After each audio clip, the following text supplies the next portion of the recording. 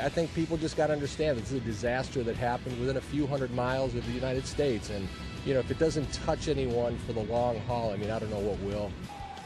Compassion and success. A Chicago surgeon returns from Haiti, bringing with him two victims of the earthquake in need of urgent care. Good morning. I'm Harry Porterfield. And I'm Roseanne Tellez. After seeing the devastation firsthand, Dr. Daniel Ivankovich's mission changed from treating patients in Haiti to finding a way to get them out so they have a chance at recovery. CBS 2's Ed Curran is live outside Northwestern Memorial Hospital, where two of the victims, two victims of spinal cord injuries, are now being treated. And Ed, what a doctor. Yeah, he sure is, Roseanne. On a very cold day out here, it really is a heartwarming story when you see what's happening out here.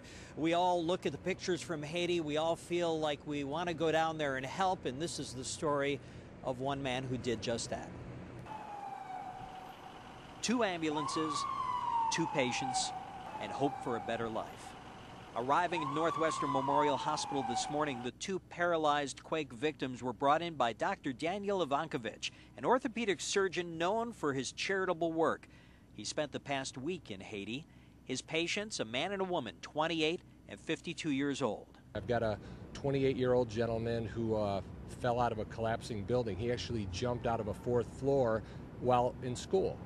And uh, he suffered a bad fracture of his spine and he's a paraplegic and the other lady, 52 year old, had the structure of her home fall on her and she was buried for several hours and she had a fracture in her neck and she's a quadriplegic. Dr. Ivankovich explains his motivation for taking on cases like this. The goal is that people with these kind of injuries can have lives that are fulfilling to get them fixed so they can sit up, get them into an excellent rehab program. And then the real positive that came out of Handicapped International was that they're going to be building a very large rehabilitation hospital on Haiti to accommodate all these amputees, the spinal cord injuries, and these people can live on an island with their family. It's the best thing for a good recovery. Dr. Dan is quite a character. At seven feet tall, he's known to be a smoking blues guitarist. I bet he's happy just to be known as that big doctor with a big heart.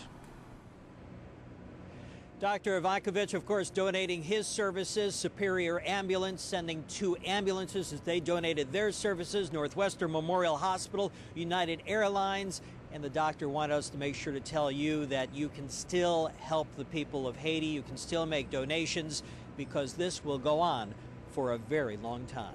Roseanne? You know, Ed, I already thought he looked like an Indiana Jones type of guy, but to see him walk off seven feet tall and what patient follow up. Thank you, Ed.